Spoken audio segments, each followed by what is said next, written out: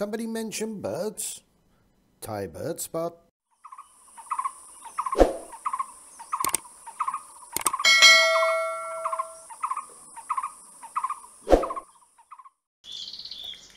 Hey there birdies and welcome back to the channel once again and today, well, this one's a bit of a surprise.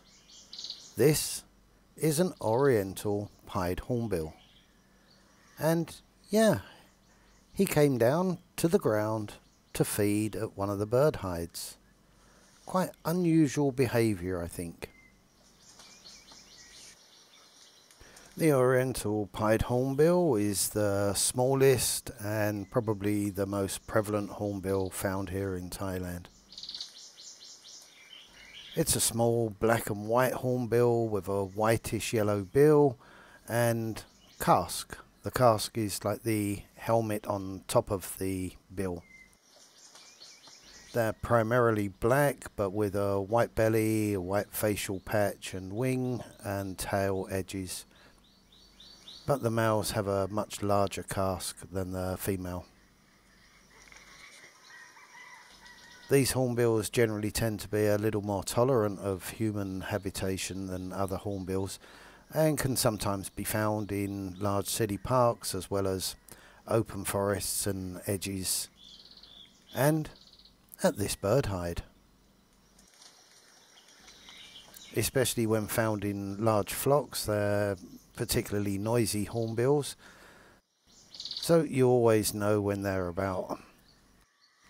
Anyway, as we always say, if you want to see the bird, learn the sound. You might want to cover your ears a little bit for this one.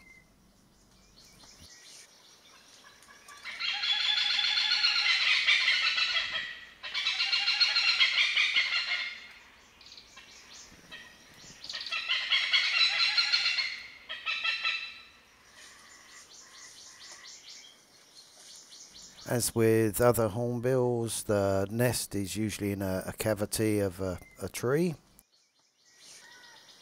After the nest site is chosen and mating completed, the male will provide her with pieces of earth so she can seal herself into the hole. Incubation is usually around 25 to 30 days and then after the chicks have hatched the male will feed the female with regurgitated food or small prey carried in the bill.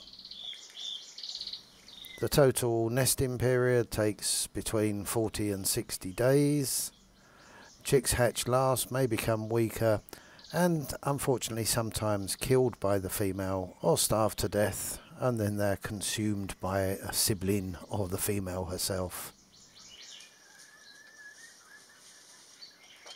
Anyway, that's it for now. As I say, it's just a, a quick short video. As always, if you like the video, don't forget like, comment, subscribe and all that. And hopefully I'll be back again next week. That's all for now. See you on the next one. Bye for now.